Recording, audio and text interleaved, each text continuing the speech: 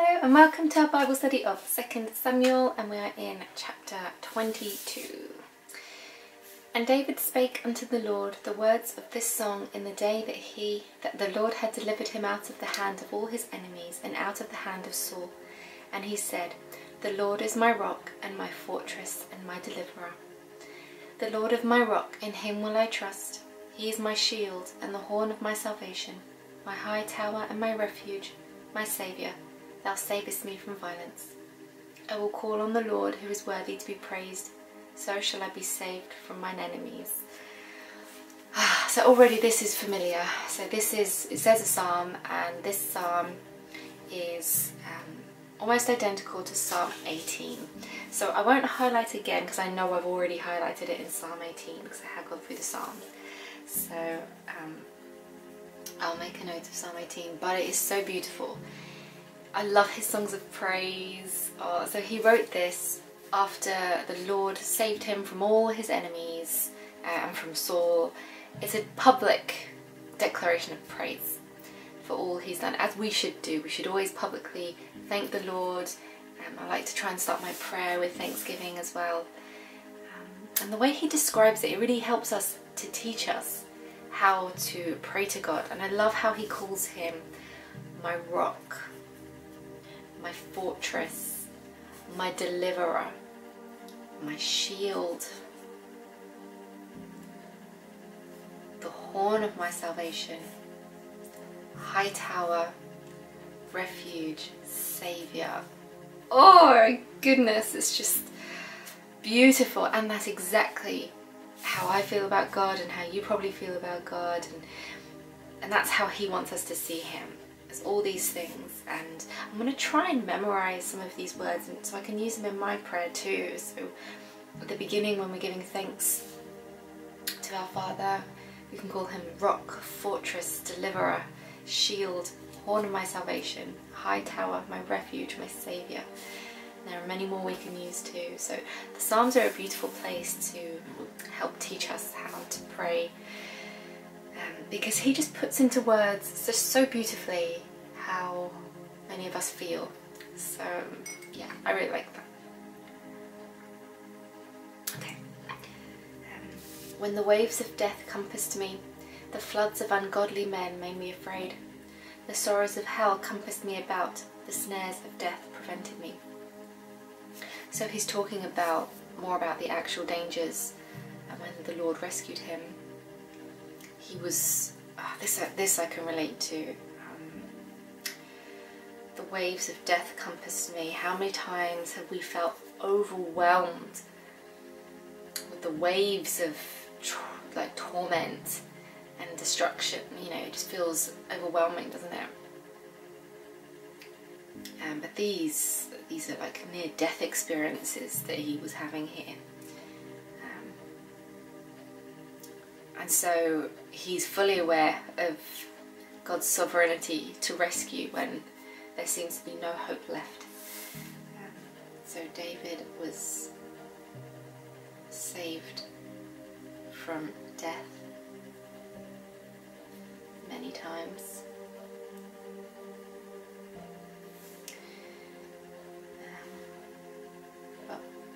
saved him.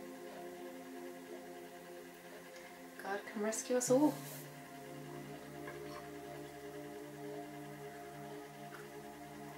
I'm sure many of us have been in situations, some that you might not be aware of, like uh, when you're born. Don't know about you, I came close to not making it when I was born. Um, but God, He can do all things, and we just have to just know that and be comforted by that. In my distress I called upon the Lord and cried out and cried to my God, and he did hear my voice out of his temple, and my cry did enter into his ears. He hears us. He hears us.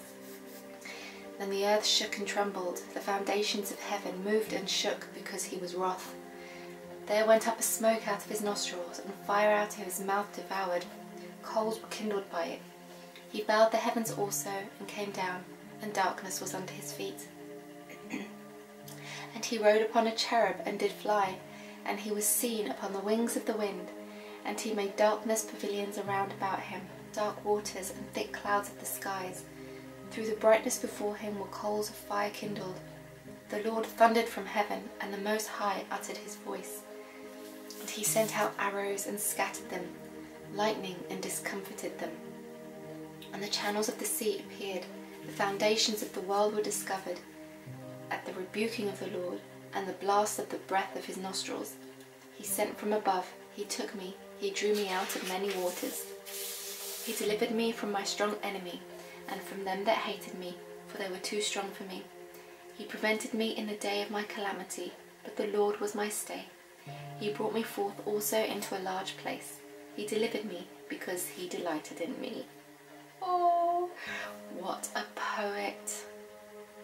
You can tell he was filled with the Holy Spirit here. The, the way he's just describing how he called to the Lord for help and how the creator of the universe he, he shook the world in response to David's prayer. I mean, what incredible power. Uh, God shook the world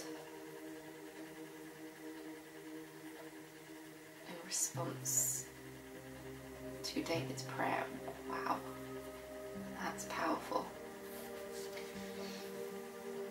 So I suppose the way David's saying it is um, that he would move heaven and earth for the one who trusted in him and sought to honour him. Oh, God would move heaven and earth.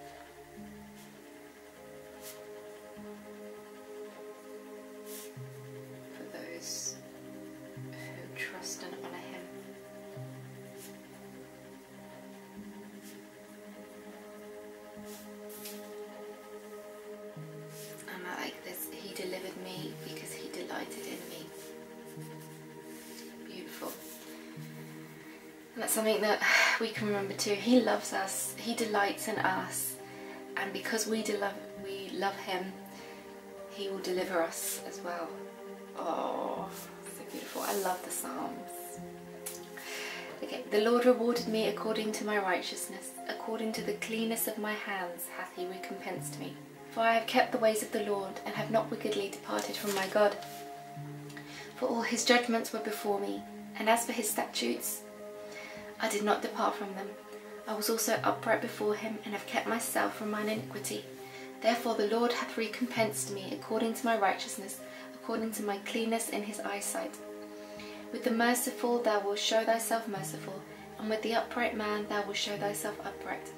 With the pure thou wilt show thyself pure, and with the forward thou wilt show thyself save unsavoury. And the afflicted people thou wilt save, but thine eyes are upon the haughty, that thou mayest bring them down. For thou art my lamp, O Lord, and the Lord will lighten my darkness. For by thee I have run through a troop, by my God I have leaped over a wall. I love this. So he's saying he will match your goodness. If you're good, he's good. If you're merciful, he's merciful. If you're upright, he's upright. Um, just beautiful. So God matches.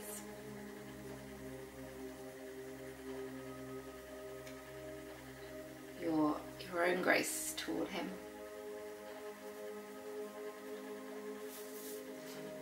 Obviously, David knew he wasn't sinless, he knew he'd made mistakes, but over the long run, he had sought to honour God over his life. And when he sinned, he did turn back to God in repentance eventually. Not always straight away, but he always came back to God. And he trusted God would forgive him.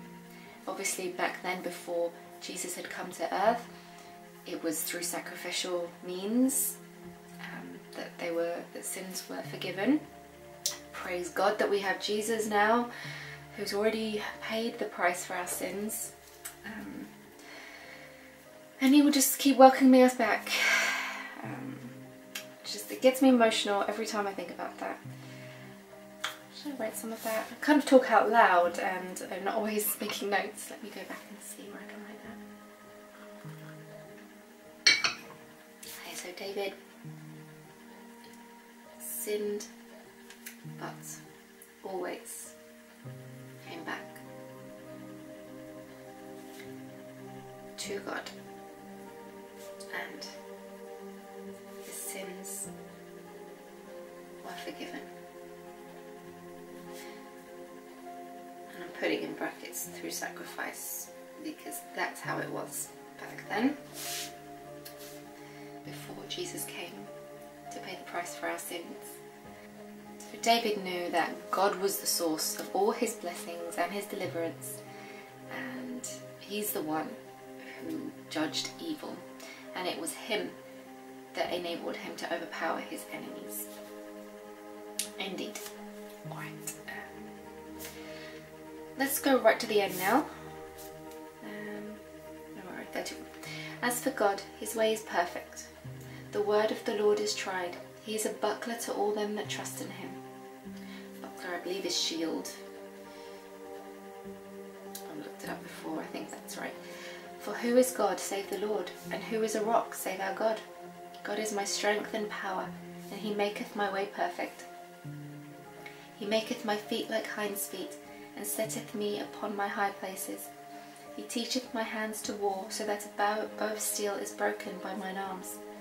Thou hast also given me the shield of thy salvation, and thy gentleness, gentleness hath made me great. Thou hast enlarged my steps under me, so that my feet did not slip. I have pursued my enemies and destroyed them, and not turned again until I had consumed them. And I have consumed them and wounded them that they could not arise, yet they are fallen under my feet. For thou hast girded me with strength to battle, them that rose up against me hast thou subdued under me. Thou hast also given me the necks of mine enemies, that I might destroy them that hate me. They looked, but there was none to save, even unto the Lord, but he answered them not. Then did I beat them as small as the dust of the earth, I did stamp them as the mire of the street, and did spread them abroad. Thou hast delivered me, thou, thou also hast delivered me from the strivings of my people. Thou hast kept me to be head of the heathen, a people which I knew not shall serve me. Strangers shall submit themselves unto me as soon as they hear, they shall be obedient unto me.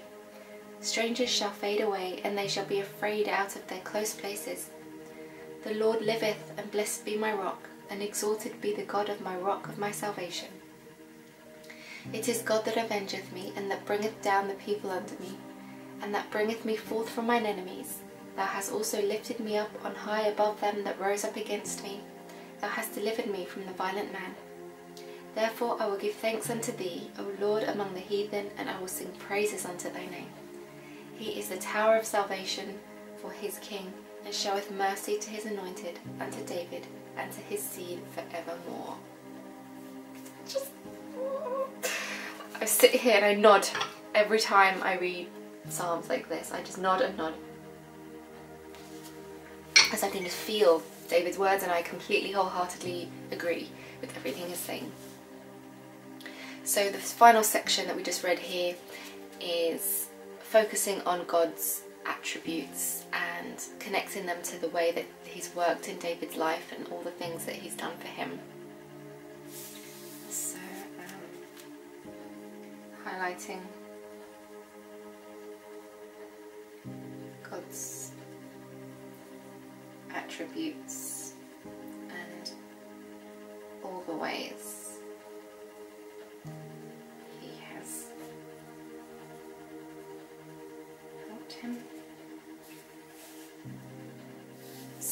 if David, as the king of Israel, was looking to God as his tower of salvation, surely God's people should do the same. He was setting a really beautiful example. But would they? Mm-hmm.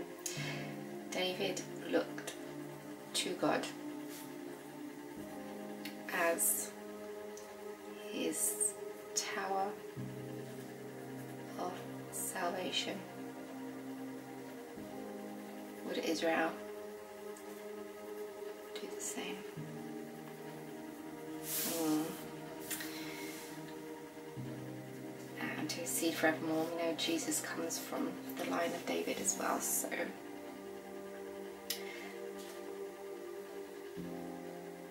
Okay. Oh, beautiful. I do love a psalm. I do love a psalm. So our story didn't progress, but there's a beautiful pause to stop and reflect on the wonders of God goodness that He has done and the goodness He'll continue to do. Uh, it looks like the story does continue in chapter 23 and then there are only two more to go after this one and then we have done the whole book of 2nd Samuel. Alright, so as always, look forward to reading your takeaways if you have any and I look forward to speaking with you tomorrow when we go through chapter 23. Have a lovely day, I'll speak to you then. Bye!